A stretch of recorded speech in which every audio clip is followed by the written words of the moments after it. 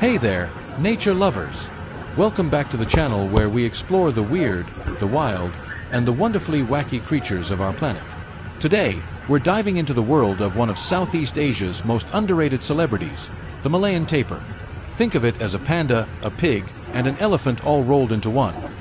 But with a fashion sense that says, I woke up like this. Now, before we get started, let me just say, if you've never heard of the Malayan tapir, don't worry. You're not alone. This guy is like the indie band of the animal kingdom. Super cool, but not enough people know about them. And that's a shame, because they're basically nature's version of a living, breathing Rorschach test. Meet the Malayan tapir.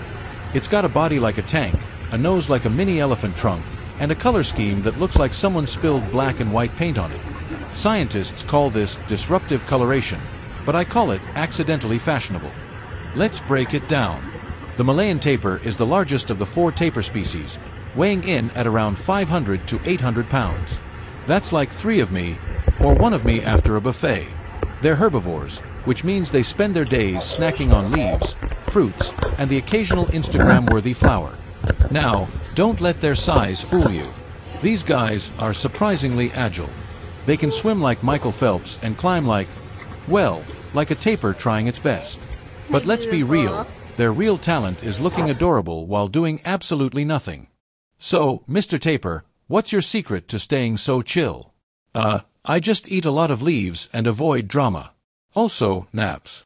Lots of naps. Relatable. Very relatable.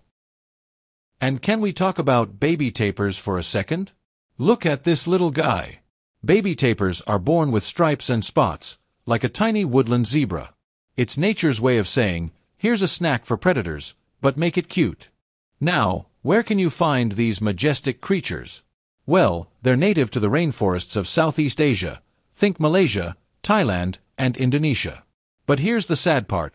Their homes are disappearing faster than my motivation to go to the gym. Deforestation and habitat loss are huge threats to these gentle giants. So if you're falling with this cute forest creatures, don't forget to like and subscribe.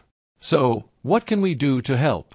Well, for starters, support conservation efforts and spread the word about these amazing animals.